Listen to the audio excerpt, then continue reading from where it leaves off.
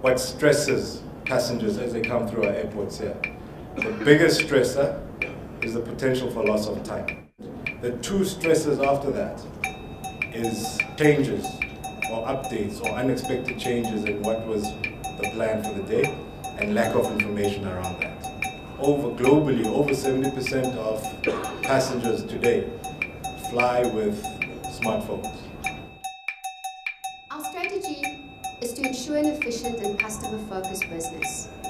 But we're there to build and manage world-class airports. And this was instrumental when we started with the framework and the objectives of the, of the app.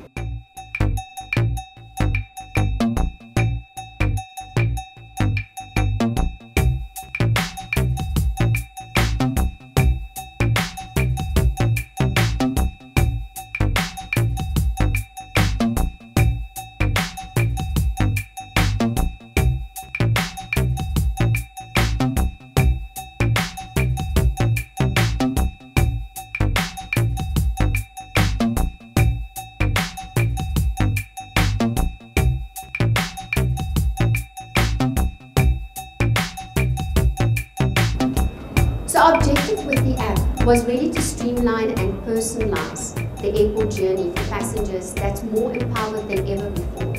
We want to keep customers connected and we want to do it one